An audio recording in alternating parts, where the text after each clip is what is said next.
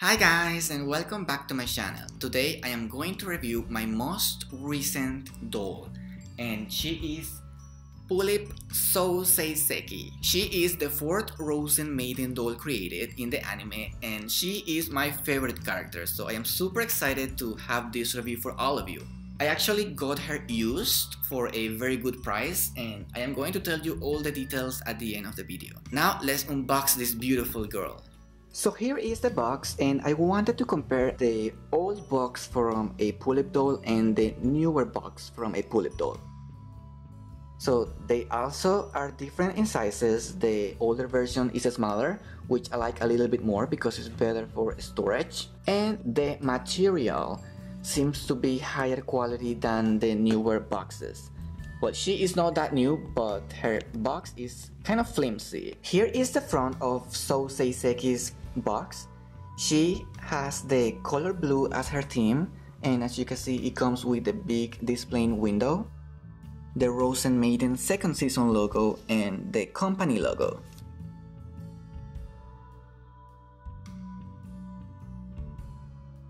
Something that I like from the older boxes is that they come with a beautiful picture of the doll and also the warnings and precautions and the official sticker. Here is the top and here is the bottom. I was taking her out of the box and I realized that she is packed in a very interesting way.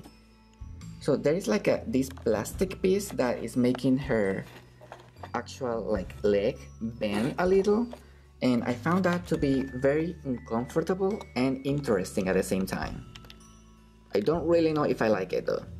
One of the goodies that come inside of the box is her collector card.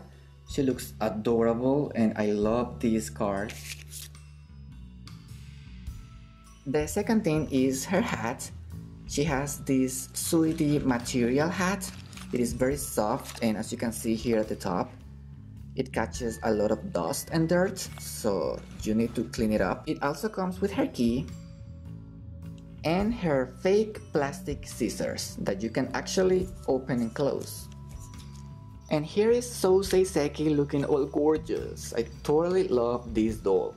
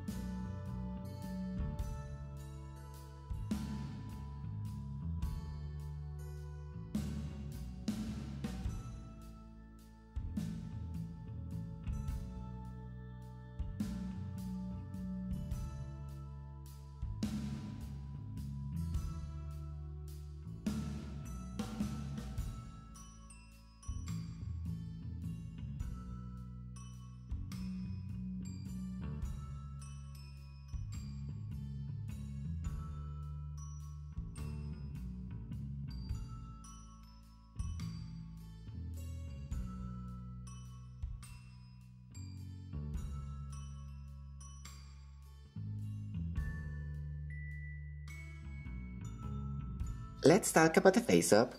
Uh, she came with a very natural face-up. She also has no makeup on. But what she has is really beautiful.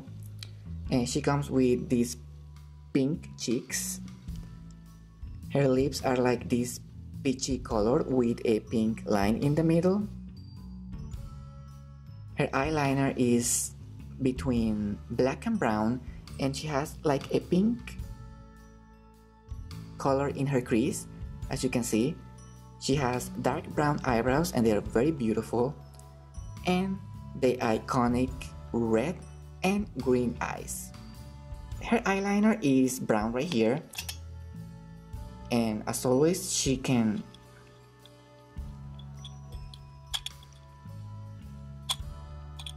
I am back with my thoughts in this beautiful, amazing doll. Like, she is the most beautiful one so far. I don't know why, but I, uh, I just love her. I love her so much. So as always, I am going to start from head to feet and I am going to remove this so I can show you this wig.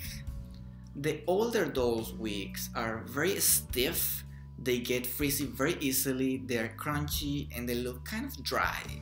But I am super happy right now because the last owner of this doll took a lot of care to this wig. Like she is barely frizzy, it is in a very amazing condition and I am super thankful about it. So yeah, I definitely let it pass.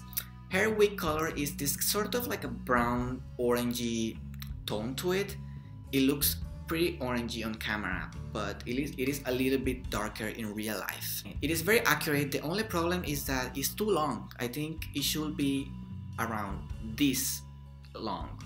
So they need to remove all this section right at the bottom to make it more accurate. But the overall thing is really beautiful, I'm super happy and I'm sorry I keep doing this, I'm just trying to put the hair down. Her face up is very simple, very natural, very boyish and that's because in the anime she sees herself more as a boy rather than a girl. So if you watch the anime, you will hear that she calls herself a boku, and that's sort of like a male pronoun in Japan. The actual makeup is really beautiful. I love the eyes, they're super accurate and they look kind of fake to me. They don't look very realistic, but again, this might be something that only the older dolls have that they do not look very realistic. Her outfit is amazing. It has this, uh, how do you pronounce it? I forgot.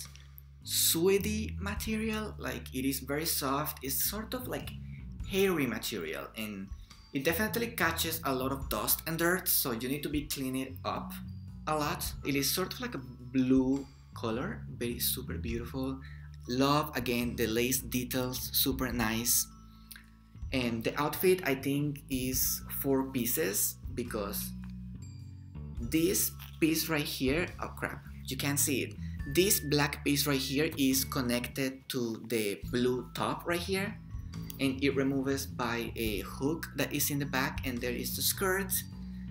And then we have the shorts that are really beautiful same material as this section right here the white stockings really nice they are a little bit stained, but that's something that happens a lot with this doll. And we have the beautiful shoes, they are brown.